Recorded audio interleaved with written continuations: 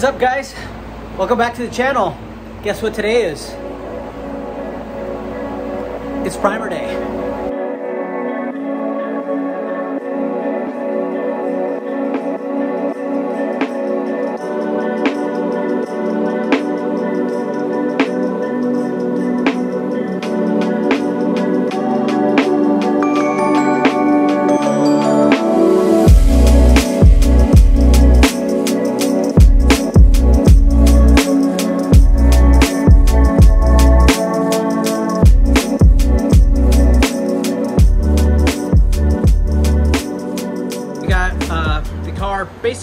Wrapped up in plastic, ready to go.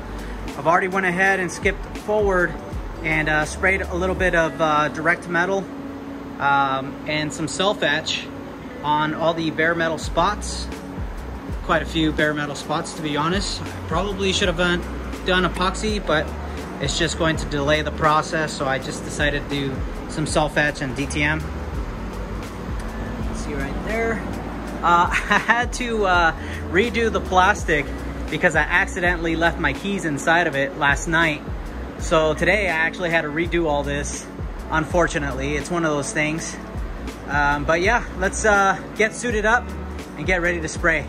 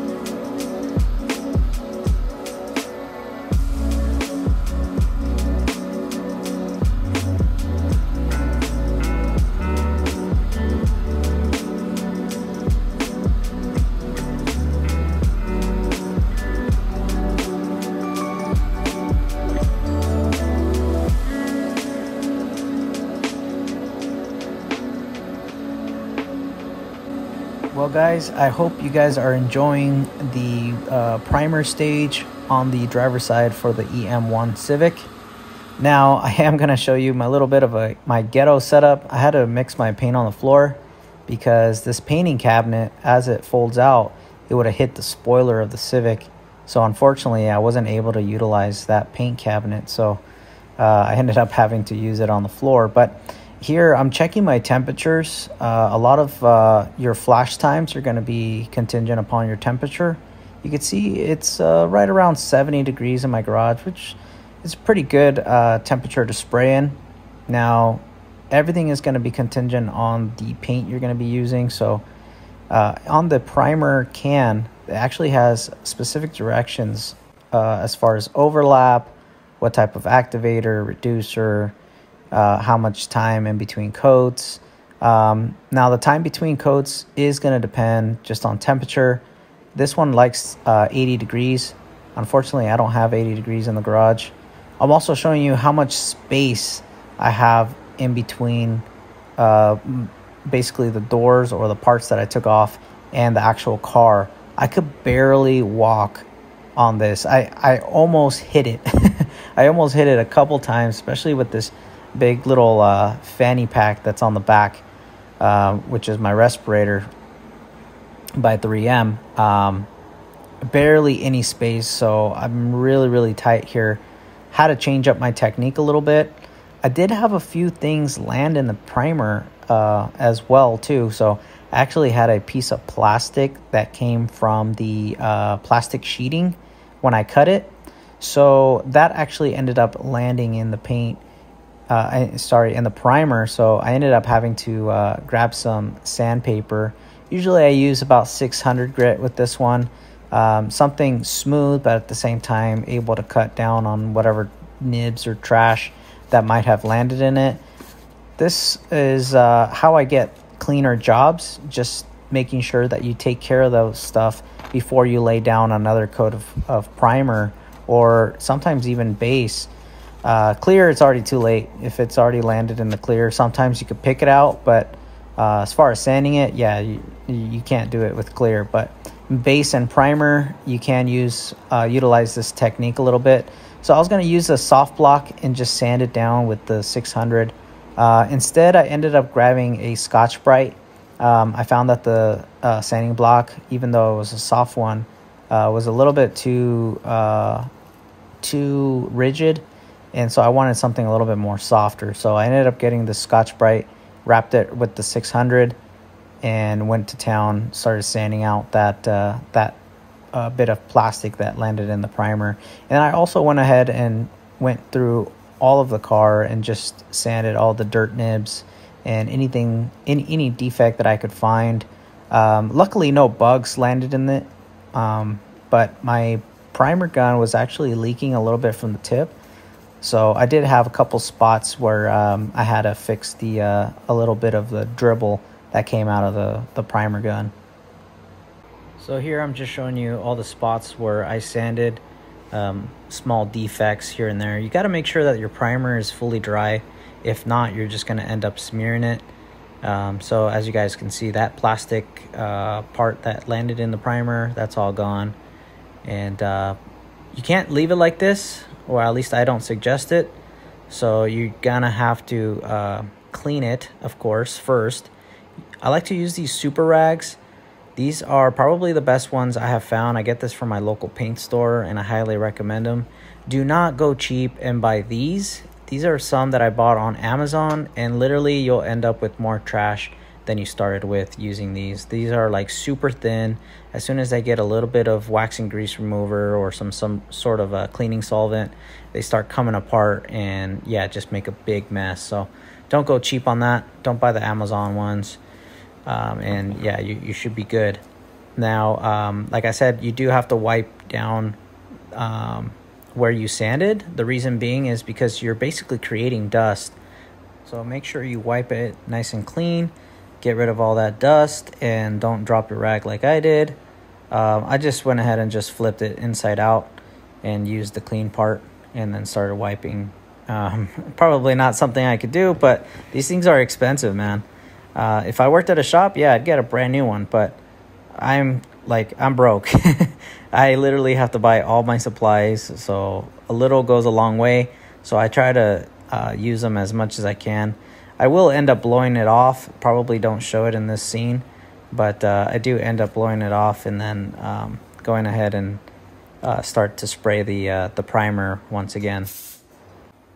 So I'm going to start uh, painting the car from the back. The reason being is because of airflow.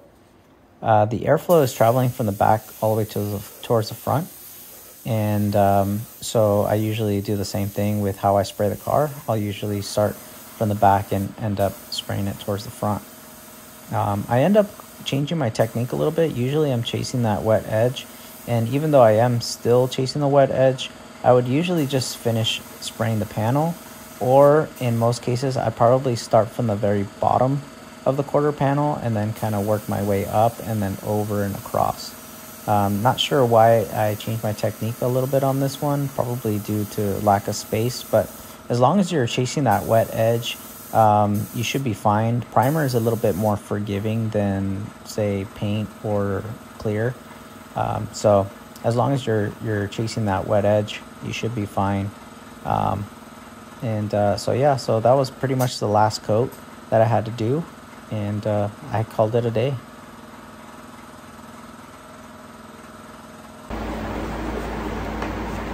Alrighty guys, so we're done spraying four coats of primer. Um, went ahead and took care of some dust nibs and then go ahead and spray some more primer. This is what it's looking like now. Gotta let it dry. And uh, yeah, so it's gotta be sitting here for probably three or four days. I like to let the primer dry as much as possible so that I can swell or shrink or whatever it's going to do uh, within that time period. Uh, when it gets really hot outside, my garage turns into an oven. So I use that to my advantage. I'm basically letting the car stay in an oven for basically four days and letting that primer just dry out. So that's what I'm gonna end up doing. That's gonna be the end of this video. Hopefully you guys enjoyed. Stay spraying. Catch you guys on the next one. See ya.